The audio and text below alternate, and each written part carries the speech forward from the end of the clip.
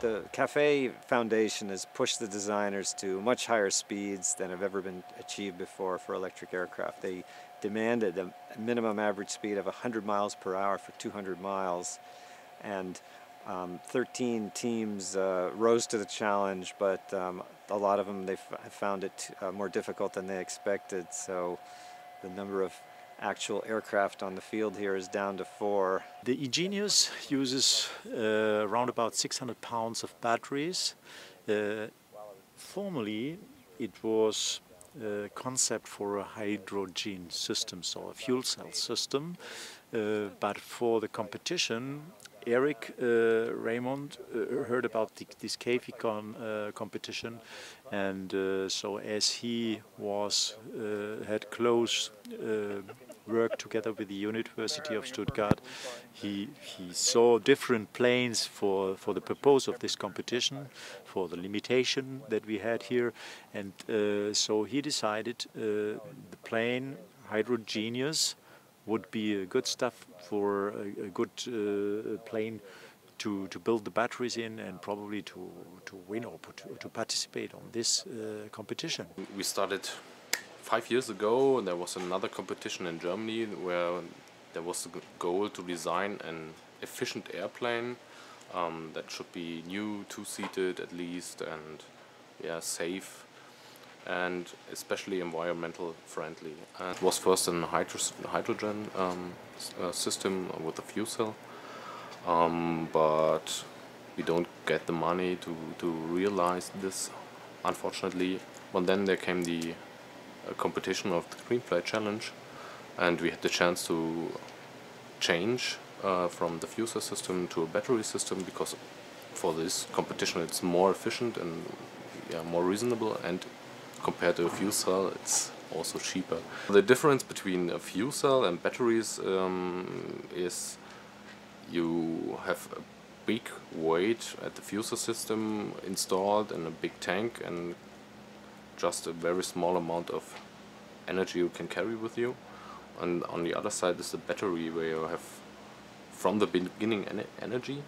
So there are two curves um, if you see them who cut themselves and there's one point to which the battery system is better and then there's a point at which the cell system is better and for this competition the battery system was would be the preferred one. I was really very astonished when I did the first flight how easy this plane is to handle.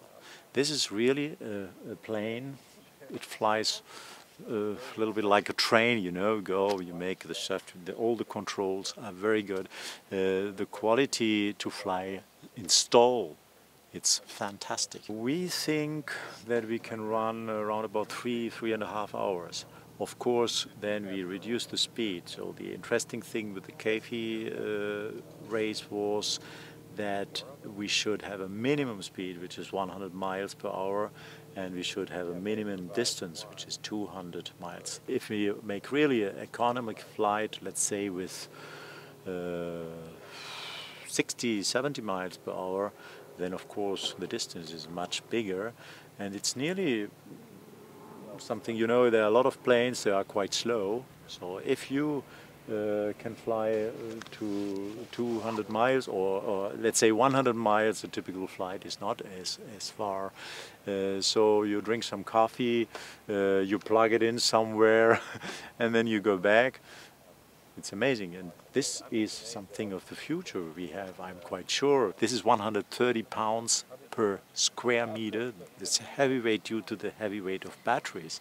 And it's a safe plane. It's, it's built like a plane under the rules of FAR uh, 23. So this uh, motor glider, and you can do anything what you can do with other motor gliders. Of course, we have not finished all the things that uh, that uh, have to be done to make a, a, commercial product of that. But it flies like a commercial product.